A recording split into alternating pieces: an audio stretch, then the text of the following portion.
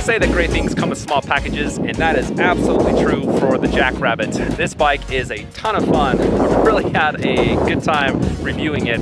It's only $999. It's lightweight. It's got a powerful motor. It's a whole new riding experience. So let me break everything down for you and show you what this thing can do. Okay guys, you got a ton of power for the size and how heavy this bike is. A 300 watt brushless motor, and that is powered by a 36 volt 4.2 amp hour battery that can be removed with the two keys they give you. Can be charged in the bike or out of the bike, which takes two hours, so it's got a very quick charge time. It only has throttle, there's no pedals, just pegs that do fold up and down, and it's rated up to 20 miles per hour, so let's uh, see if I can hit that. Okay, throttle only, I got a full charge on the bike. Here we go. And that power is almost instantaneous. It's kind of slow for the first five, 10 feet, but now it's starting to ramp up. There's already past 15. This is pretty zippy for being so small. It's crazy. There's 19 and 20. So zero to 15 is actually pretty fast. Starts to level off around 16, 17, but uh, still reach 20 miles per hour within a block. I'm impressed. This is the lightest bike I've ever reviewed at 24 pounds, but can carry a rider up to 240, which is, that's, that's impressive. It's time to see how long it takes to hit that top speed. I'm 185 pounds, got a flat stretch of road and a full charge on the bike. Let's see how fast I can reach it.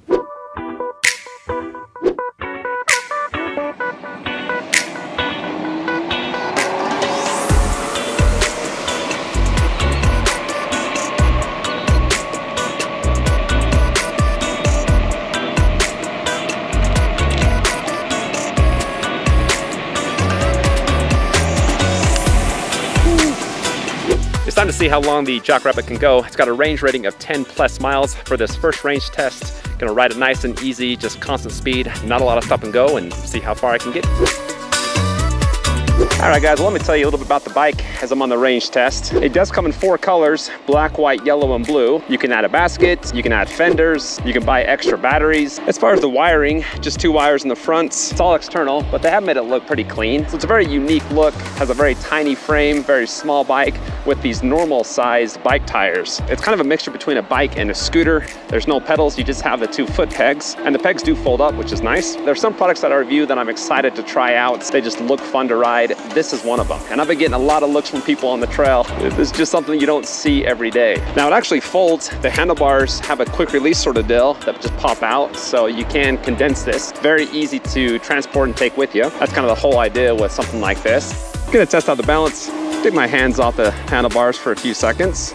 As far as the weight distribution front to back is super nice. Motor's making zero noise, tires are nice on the trail, not a lot of noise coming from there. Sounds durable, sounds really good. There's certain bikes that don't sound that good. The motor can pulsate sometimes, that's not the case with this. It's very solid, even when climbing. Okay, the first light went out, so I have the yellow and the red left, and I've gone 4.95 miles and pretty consistent riding, maybe stopped four or five times. And I have been topping the bike out, so hitting 19, 20 miles per hour. So handling is pretty unique. It's unlike anything else I've tried. Just being on something this small, going 20 miles per hour, you just feel very involved in the trail. You can just feel the trail and it's more like immersed riding experience. That's the best way I can describe it.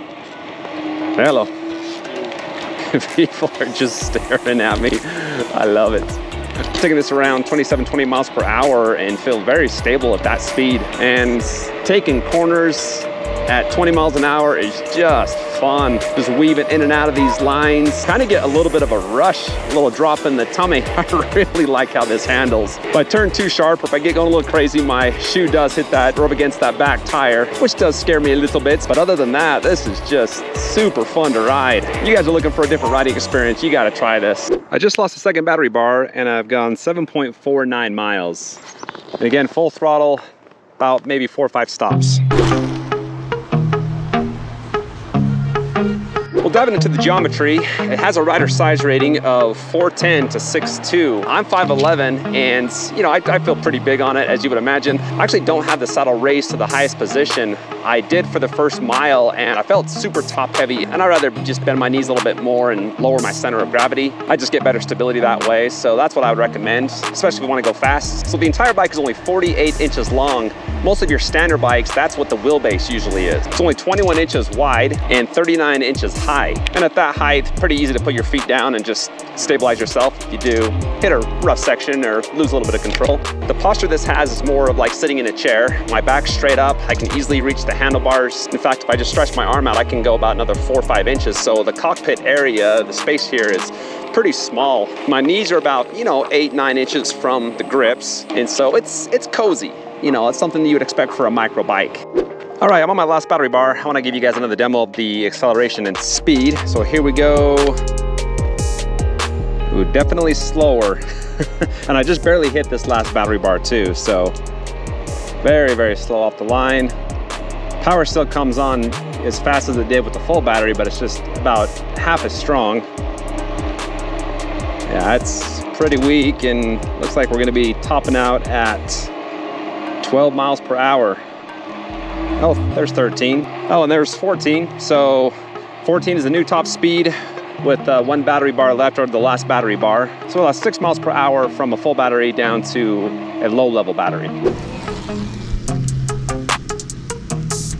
Diving into the cockpit, uh, handlebar length is pretty good size for the frame of the bike. They do rise up about two and a half inches and you got a massive stem on this. That's gotta be, you know, seven, eight inches. I haven't seen these style of grips before, but I like them. They're actually fairly comfortable. They do move a little bit. The saddle is quite big for the size of the bike, a little above average for comforts. You have two different sizes of tires on this. The front, there's a 20 by 1.95 inch, and in the rear, there's a 20 by 2.5 inch. And they've done that to just give more stability to the bike. And they got some tread on them too. They're not like super slick tires, so you do have some traction. There's no suspension on the bike, and so I've lowered those both those tires down quite a bit to the lowest PSI level, and that has helped to take away the smaller vibrations. The bigger bumps and cracks, it rocks you pretty good. I find myself standing up when I, you know, come to a, one of those bigger cracks. Now the nice thing about this, when the battery does die, is you can just put your foot on one side of the peg and or one side of the bike and use your other one to pump.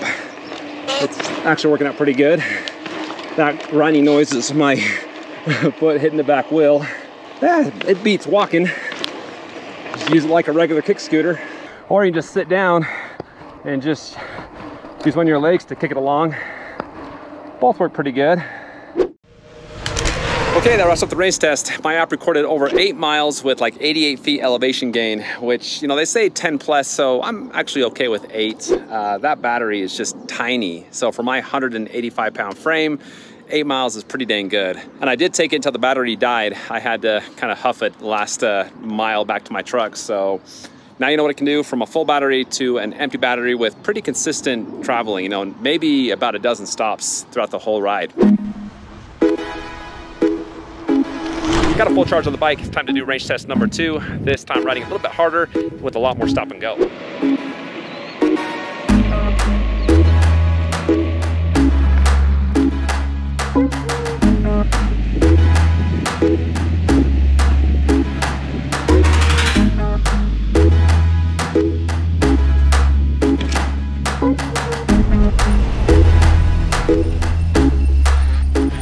Range test two complete. I took the bike until it uh, died again, and I pretty much got the same range as I did with the first test. I actually forgot to stop my app. Got a little bit more elevation this time, about 100 feet more, which was nice. So eight miles is what you can expect if you're 185 pounds, riding it hard or nice. There's no torque rating for the motor, but it does have a 12% grade hill rating, so let's see how well it can climb.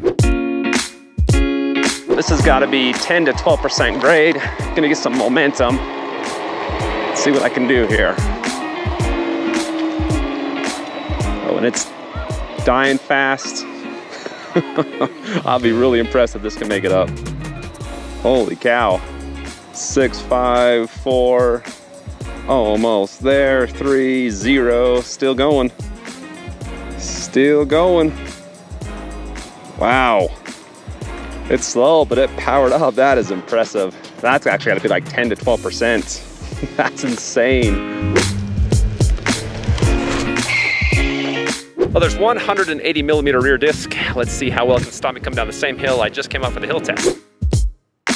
Let me give you a demo of the brakes. Got a small hill, get some speed here, do some hard braking right about now. Woo, that's a big old skid mark. Uh, very stable braking at that uh, speed and that hard. That was as hard as I could go. Don't need a lot of pressure on the lever either. That, that engages very nicely. With these smaller bikes, I'm always worried about going over the handlebars because I have done that before when I do hard braking and that's not the case with this. That was very stable. Not the quickest stopping power, but you know, decent. Uh, really not a lot as far as the uh, screen and control panels. This is it right here. Power button, on off, shows the battery life, one, two, three levels, throttle, and there is a bell on the left side. And that's it. The Jackrabbit has an IPX4 waterproof rating, a one year warranty, and free shipping in the lower 48. Well, overall, guys, if you couldn't tell, I really enjoyed the Jackrabbit. It has just a unique riding experience, and that's one thing that I look for as I review just so many bikes and scooters and just a bunch of toys. Looking for that different, unique riding experience, and this has it. So if you do want to pick it up, I've got the link in the description. Also, be sure to check out my website, electricrevolutionreviews.com. There you can find all my reviews sorted by price and capability. Hit that like button before you go. Subscribe for the latest in electric bike, board, and scooter reviews. Thanks for watching, and I'll see you next time. Holy moly, win! It's so windy!